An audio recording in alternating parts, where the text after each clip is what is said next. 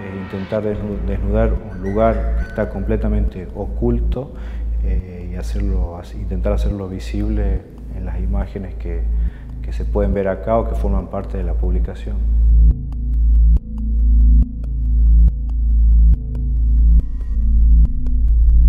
El contenido de la muestra son imágenes que hablan acerca de situaciones que se desarrollan en un penal, en este caso de Villurquiza, pero que se lo puede comparar prácticamente con cualquier penal alrededor del mundo. ¿Por qué? Porque son prácticamente los mismos elementos que se desarrollan en otros, en otros contextos.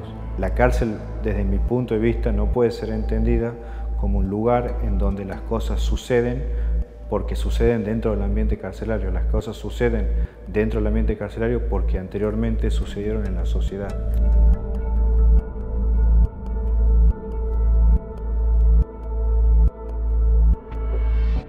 Se, conjuga en un estado en el cual la gente oculta, la sociedad, la justicia oculta lo que no quiere ser visto.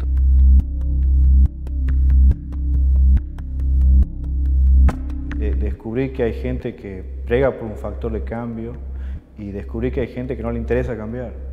Descubrí este, gente que trabaja en forma desmedida dentro de un penal para que exista el pan de la comida, para que exista la cocina, para que exista un cierto orden a nivel institucional. También conocí guardiacárceles y presos que, que bueno, que, que habría habría que analizar seriamente qué función cumplen dentro, dentro de ese rol penitenciario.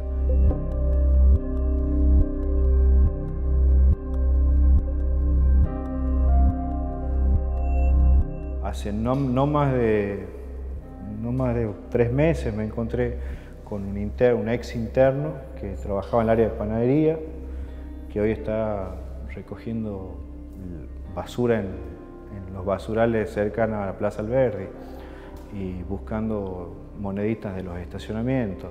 Entonces, una persona que se dedicó a trabajar este, honestamente dentro del servicio penitenciario, que después no haya ninguna herramienta que realmente lo inserte a nivel social, es darle un empujón para que vuelva a delinquir.